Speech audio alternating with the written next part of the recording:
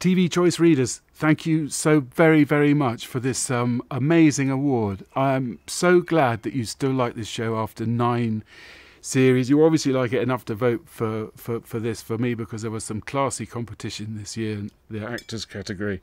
And um, we're just blown away. It's a family business. We love making it. We love being down in Cornwall doing it. There's so many people to thank, so many writers, such an amazing cast. Um, but the most important person is my amazing wife who has produced every single script of uh, nine series. And um, I am allowed to tell you that there will be a 10th series. We're going to make that next year, COVID or not. Um, so, but thank you. I really am genuinely very chuffed to receive this. Thanks.